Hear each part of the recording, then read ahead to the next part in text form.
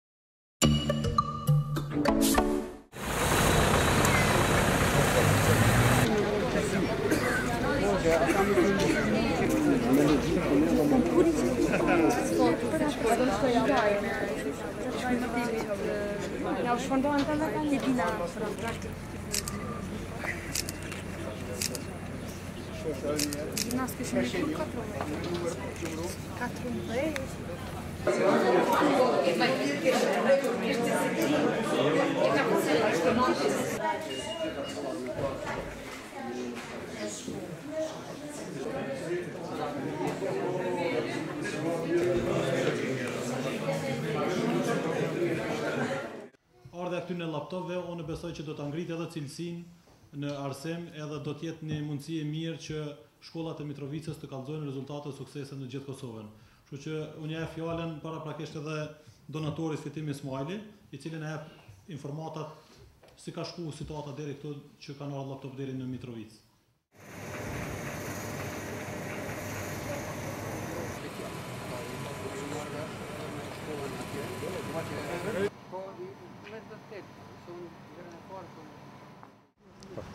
Unë jam Fitim Ismaili, jetoj tash 26 vjet në Holandë, jam prej Mitrovicës, 22 vitet e para i kam kalu këtu, dhe në kohë të studimeve, në vitin 1989, Kam shku në Holandë me jetu.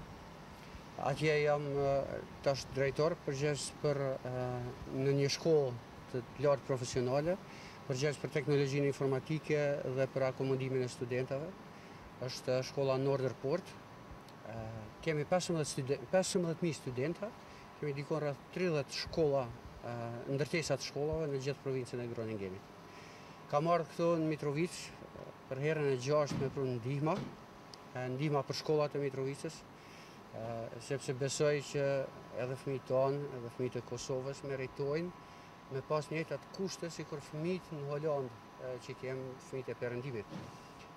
Sepse mendimi i jem është se arsimi është baza e çdo shoqërie, është themeli i çdo shoqërie, në qoftë se investojmë në fëmijët tanë, atëherë do të kemi një një shoqëri të sigurt, një shoqëri që dëshiron të përparojë, një shoqëri demokrate që është e gatshme me pranu një zhvillim të ri, sidomos mbas një lufte edhe mbas një kohë shumë të gjatë ku populli jonë nuk ka mujt me u zhvillu. Kemi humbur një gjeneratë të tërë gati në shkolla nëpër shtëpia e sende, tash është shumë keq në qoftë se tash në liri nuk i kanë kushtet e mira siç duhet. Cila është ideja e radhës Ç'keni a favor me këtë? Kjo është e gjashta, hera e gjashtë. Tash këtë herë kam pru 300 laptop. Laptopët janë të shkollës tonë, ku punoj unë. Kemi përdorur disa vite, 3 vite, 3 vjet e gjys. Po ata janë laptop që mund të përdoren edhe 2-3 vite së paku.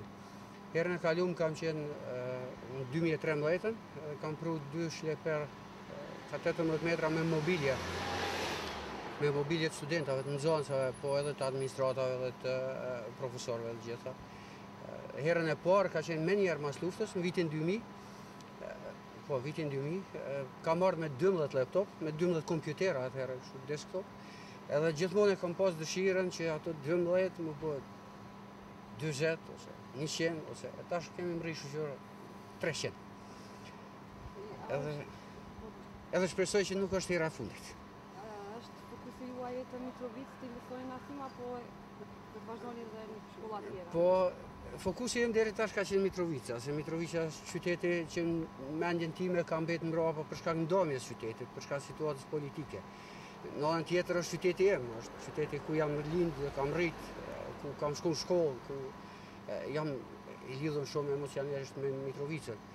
Dëshira jem më e madhe kish qenë me mujtë krejt Kosovën, dhe për ata po tham edhe shpresoj që nuk është hera e fundit. E, kam fillu me 12, kam arrit tash në 300, e shpresoj që herën tjetër Ku me dit, nuk, nuk guxoj me premtu se gjithmonë thamë ma mirë është me kry punën e masnej me tregu sa, se me premtu e mos me mujtë me kry. A, dhe, A e patë përkrahjen e shkollave për që laptopët të vinë këtu, apo e këtime për nëjë puna? jo, atje në Holandë, tash ka më njohin edhe atje, kur lajmërohna te organizatat, dinë që për shka po vij, edhe dinë që po vij për Kosovën, dinë që po mundohem me Me i afru këto dy shoqëri të perëndimit dhe shoqërinë e Kosovës nga një anë tjetër, sill arsimin e perëndimit në Kosovë. Kështu që gjithë mendojnë me mu bashkë, si, si me zgjidh problemin. Vetmi problem që e kemë gjithmonë është pak transporti, transporti është shumë i, shtrejtë, se shkon përmes rrugës, domethënë këto kamionet, këto janë, kanë harxhimet të mdhaja dhe për ata janë harxhimet të mdhaja. Se për tjerat, për pajisjet ato, shumë, faktikisht shumë lehtë i rregulloj secilën herë dhe reshtarë.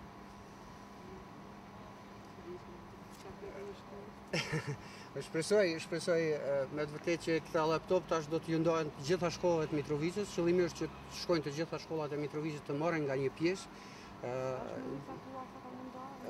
Drejtoria e arsimit të komunës Mitrovicës ka vendosur t'i shpërndajë në bazë të numrit të studentave, të nxënësve që kanë shkollat, t'ju japë edhe laptopë. Këta laptopa në shkollë, apo kanë me marrë studenta? Jo, në shkollë, në shkollë. Qëllimi është që të krijohet në secilën në shkollë të krijohet një lokal i informatikës, ku studentat me rend, normal që 300 laptopë me mijëra nxënësa nuk mjaftojnë, po që me rend bile kanë mundësinë të njoftohen me lëndën e informatikës, teknologjisë informatike dhe të kanë rastin të mësojnë se shka është një laptop, qysh punon edhe pse punon.